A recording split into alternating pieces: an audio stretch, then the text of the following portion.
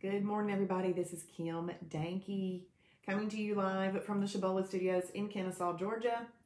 It is Friday, TGIF. It is November 13th, 2020, and I'm having a hard time keeping up with the days this year because now, because my calendar, the old one used to tell me how many days left there were. Then I got a new calendar, so I wrote in there. Well, now I, the new calendar was just copied papers. So now I'm finished with all those and I have to figure it out. But I should be able to remember it from day to day. But there's a lot going through this mind. 50 days is what I'm going to say. 50 days left in the 2020 edition of the Game of Life. I did get my new hat yesterday. I found this hat at Cracker Barrel over in Alpharetta. Good morning, Kay. When you hop on here this morning, please tell me good morning and where you're from.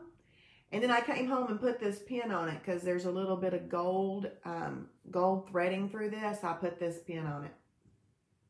Hey everybody, I'm glad you're with me this morning. I hope that you have a your weekend already planned out in your mind. You know, are you going to have a perfect day or do you think there's something special enough to have a holiday? Good morning, Amy. Happy Friday. She's having a perfect day. Good morning, Renee. Good morning. I'm so glad that y'all are here. Good morning, Michelle. I'm wearing red for Remember Everyone Deployed. This this doesn't even fit. This thing is just huge, too big. It's way too big. But all my other red shirts are dirty. I hadn't washed clothes in a while. I need to wash clothes. Y'all get like that? Hey, Kathy, good morning. Good morning, Pamela. Having a Tiger 16 day. Love the hat. Thank you. I actually like this style a lot. I really tried on another hat yesterday that was super cute too, but the style of it just doesn't lend to being comfortable, you know? So I thought I didn't buy that one. I got this one. Good morning, Robin. Good morning, Polly. Thank you. Thank you. Polly is in Dalton. Uh, yeah, I saw that on your, your mug the other day. I thought you must have been a red hatter. I saw that on your mug. I was talking to a lady last night whose mom is 80 and Polly, I used you and Patricia as examples to let her know that her mom could do this. Good morning, Kathy. Thank you. Thank you. Kathy's having a perfect day. Charlene from Michigan. Thank you, Charlene, for loving my hats. I've just kind of decided to wear them because I saw a cute one at Cracker Barrel a few weeks ago, and uh, now I'm like, I like these hats. Good morning, Tammy. She's working to eliminate a three-day holiday last weekend. That's right. She's wearing red. Way to go, Tammy. Perfect weekend and every day until Thanksgiving Eve. Way to go. I love that plan. I love knowing what you are doing. Um, good morning, Shirley from Dalton, having a lion day today. Good morning, Marla. Off to work with three perfect days planned ahead. You know what that means when Marla goes off to work? She is traveling on an airplane. She is a flight attendant. She is still planning on three days.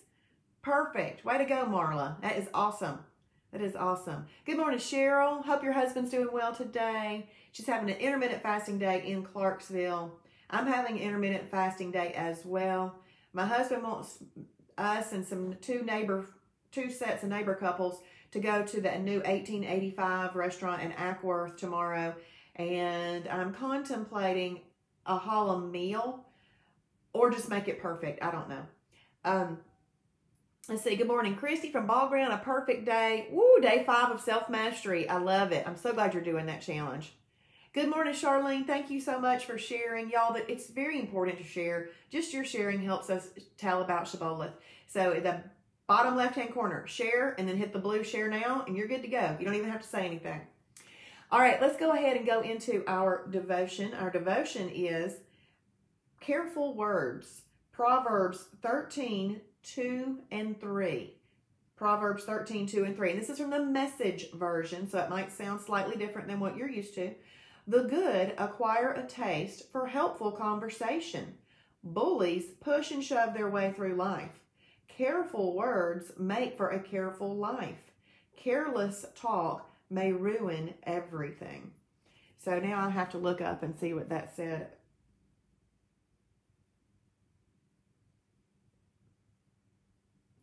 Um, hey, everybody.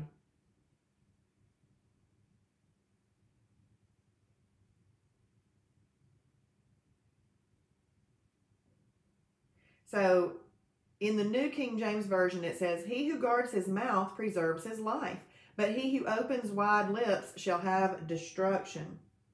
Oh, the verse before that. A man shall eat well by the fruit of his mouth, but the soul of the unfaithful feeds on violence. All right. I just like to read the different different versions, especially when you read the message one, since it's not written quite the same, but I thought it was good. Okay. What God created for pleasure and benefit can turn against you. God created food for your nourishment, yet too much or too little causes problems. Friendships add meaning to life, but unwise relationship choices bring unnecessary pain. God blesses you with work, yet job or mission obsession often causes burnouts. Similarly, words connect you with others, but reckless speech alienates. The good news God doesn't leave you to wander care- carelessly through life. He gives you direction. Ask for what you need today. So ask for what you need today. I love that part about the food, obviously, because it says too much or too little causes problems. And it was meant for nourishment. And there are times when we can use it for celebratory reasons, but that's not 365 days out of the year. So we just need to use food as it was intended to be used. And um, there's a book by Tony Evans, and it's something about the power of the tongue. I, I read it. I read it a few uh, years ago, so I really can't remember the title. But it was so good. It was just so good. Um, talking about what we say comes to pass. So I really do, and we've talked about this before on here, but I really do want you to watch your words very carefully. The things that you say about yourself they need to be the things that the Lord would say about you. And if you catch yourself saying something that isn't true to the Lord, it's just one of those ants, those automatic negative thoughts. What do we do with an ant? We squash it. If that ant comes to destroy our picnic, we flick it, we squash it, we get rid of it. We don't allow ants to come near us. Ants are automatic negative thoughts. And when you have one of those about yourself, I want you to capture it, just like the Bible says. You capture it and you make that thought obedient to Christ. And then you say it out loud. And if you do that today, you're going to have very positive feelings about yourself, like the Lord would be thinking about you, okay? And you, it will elevate your, um, your your mood immediately. Watch it. Do it. Watch it happen. It will. So if you have an automatic negative thought capture it. Turn it around to the truthful thought that is jesus what he would say about you. Then say it out loud about yourself and then move on from that situation. Don't let in uh, don't let an ant infestation come. We don't need ant infestations all right so just wanted to tell you that this morning and when you hop off of here, please make sure that you journal, that you journal your day. You declare your day. Your day does not declare you. Oh, and I have eaten out at lunch four times this week. Three of those times I've had salmon. And I think I might just start saying, I don't even need the broccoli. Can you just bring me the salmon? I don't, how much is salmon by itself? So I don't, I mean, I eat, I pick at the broccoli, but not enough to matter. So, um, but we're going to go ahead and pray ourselves off of here. Dear Heavenly Father, thank you so much for today. Thank you so much for Shibboleth. Um, thank you for my friends via technology. And I pray, Father, that they have a perfect day today. I pray that what they declare um, for themselves, that they keep their promise to themselves so that they can trust themselves, Father. So I pray, Father, that they catch any negative thought that they might have about themselves and turn it around to how you would think about themselves and let them say it out loud, Lord. I pray for continued healing for Cheryl's husband and for Rhonda's daughter. And, I know there's some other members that used to watch the Shibby Show that aren't on here anymore, but um, I do pray for them as well. I can think of three right now that, that have, were watched for a long time, and I don't know what's going on in their life, Lord. I lift them up to you. And like I've said before, I pray, Father, that somebody just reaching out to make the purchase of Shibboleth is like them reaching out and touching the hem of your garment, that it will be powerful enough to help them make these life altering, life improving, life extending changes that benefits not only them, but so many other people around them and gives glory to you, Lord. Father, in our country right now, I pray that we have clarity about what is going on. I pray that any voter fraud, which is obvious, is um, exposed, Lord, and that it can be corrected for future generations. I pray that there is transparency. I pray that there is verification and that there are remedies. And Lord, let us not grow weary as believers. Let us not grow weary. The social media and the mainstream media will try to wear us out. We will not be worn out in the name of Jesus. We are going to stay strong and believe in Jesus' name. Amen.